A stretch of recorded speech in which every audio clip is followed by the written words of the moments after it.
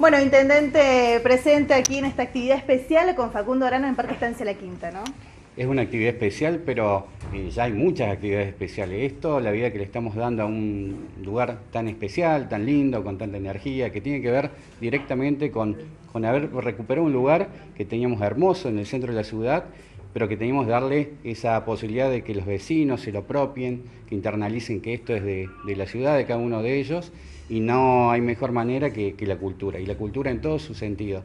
Y hoy tener a Facundo, creo que en, la visita, a partir de una charla eh, prácticamente casual, y, su iniciativa de tener un contacto directo con, con vecinos de Carlos Paz y con turistas que, que, están hoy disfrutando de este lugar. Así que las palabras son, son de él y el, agradecimiento del municipio y de la ciudad de Villa Carlos Paz a vos. Facundo, bienvenido y contanos cómo surgió esta idea.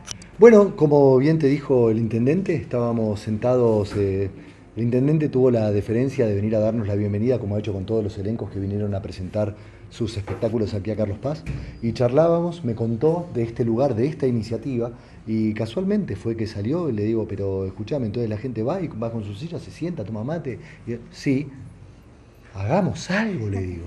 Y entonces así de simple surgió, pusimos una fecha, y yo estoy acá, mi familia está allá en Mar del Plata, entonces cuando estoy acá eh, tengo tiempo y el tiempo es maravilloso y poder usarlo para algo que, realmente sirva, que sea algo que, te, que te construya, que te nutra y bueno, y ya que hay mucha gente que está acá y que está de visita, tienen un lugar que es paradisíaco, vienen con sus sillas a sentarse, con sus mates, con sus jugos y pueden pasar un rato lindo, ser parte de ese rato, para mí es una bendición.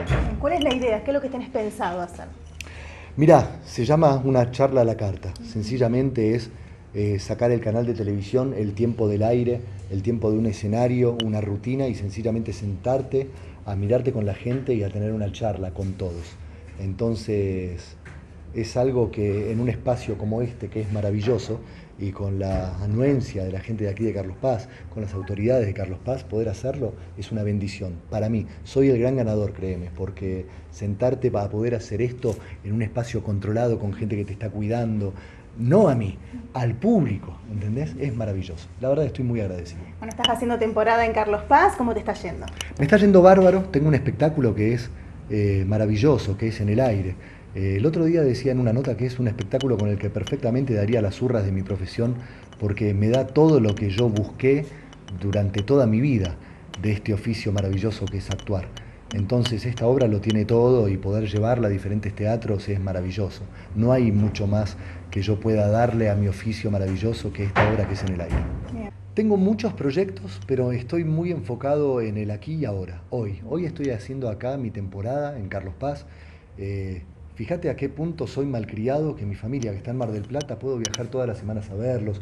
No es que estoy haciendo funciones de martes a domingo, dos funciones. No, no, no. no. Estoy trayendo, es como si fuera eh, un platito boutique, ¿viste? Es un platito, es un restaurante boutique. Eh, tengo pocas funciones, me malcrían de esa manera mis productores y supongo que después saldré de gira, pero lo estoy pasando muy bien, estoy en una aquí y ahora, muy lindo. ¿Qué días y horarios estás y en qué teatro? Yo estoy en el Teatro del Sol los jueves, viernes, sábados y domingos a las 22 horas.